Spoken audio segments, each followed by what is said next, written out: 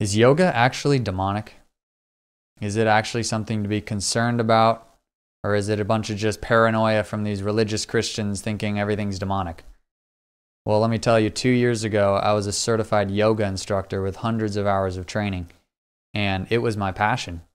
My passion was healing, my passion was helping people heal.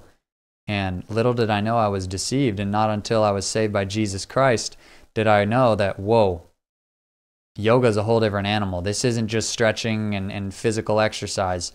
If you truly follow yoga, the spiritual path of yoga, the word yoga is to be yoked with, to be united with.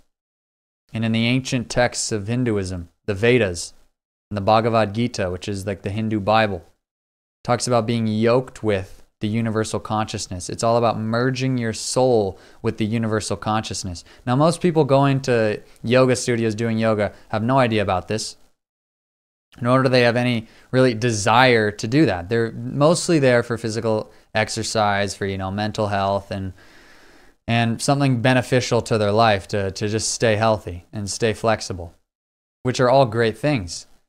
But the thing is, you are pursuing that under a greater covering, under a greater mission of yoga, which is completely anti-biblical, completely anti-Christian and will actually end up in extreme demonization because these gods and goddesses, many of the yoga poses are actually used to worship specific gods and goddesses. And not all of them. Many others have actually uh, uh, benefits to the body, to the organs, to the, to the nervous system, to the anatomy of the human body. But others are specific poses and sequences to worship the sun, to worship specific gods like Shakti and Shiva and Ganesha and the true the true religion of yoga is much more than just stretching. If you want to go stretch and, and, and keep your body in shape, go stretch and keep your body in shape.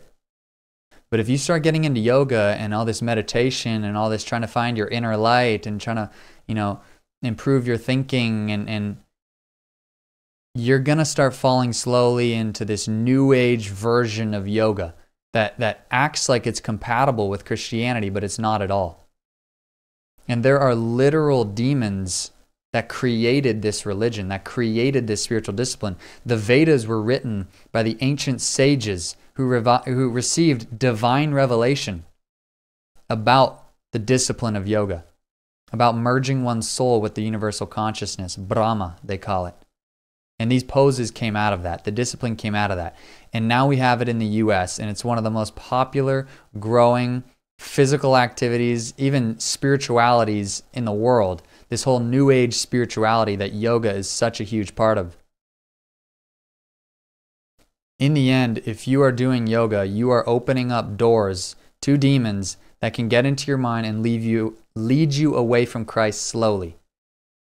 It's not going to be a, a, dramatic like whoa right after this yoga session I was like insanely demon possessed unless you're literally you're doing um, bhakti yoga which is uh, literally chanting and and summoning these gods and goddesses and worshiping them. Then that's basically instant access to your soul from these demons. That is an instant legal right. And I was involved in this stuff. I've seen it.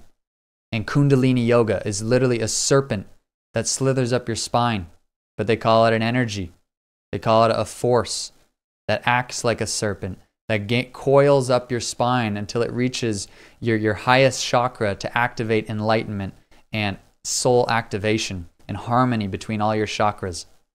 Kundalini Yoga, I've literally seen demons get cast out of people who did Kundalini Yoga. I did Kundalini Yoga. I never got super deep into it, luckily, but other people devote years to this. And they're seeking, they're seeking, they're seeking deep down in their heart. They're seeking the Lord. They're seeking Jesus, but they just can't quite find him because they're getting deceived. And that's the master of the devil's deception is the 90% truth and the 10% falsehood that leads you to hell.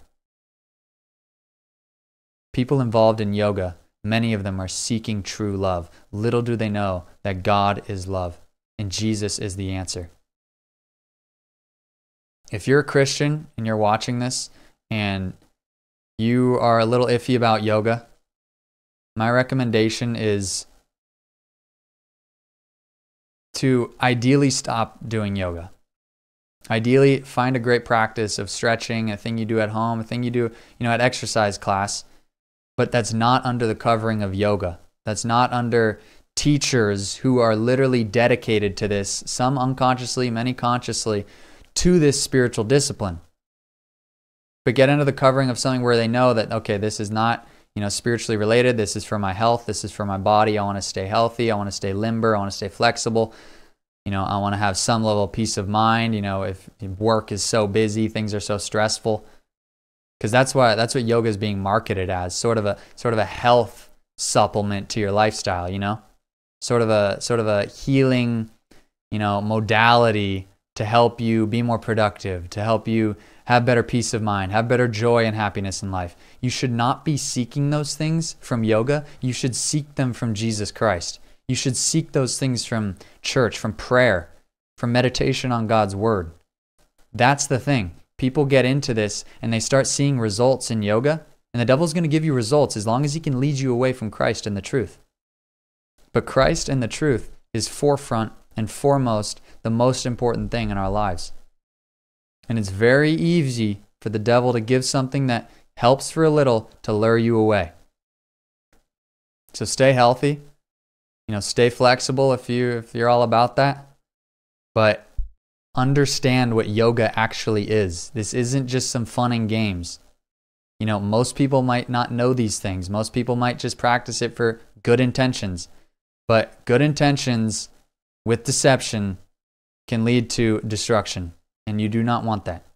So, educate people on what yoga actually is, and let's actually create something that fulfills what we want, which is staying healthy and staying physically active, but doesn't align with these extremely demonic Hindu spiritual practices that are obviously anti biblical.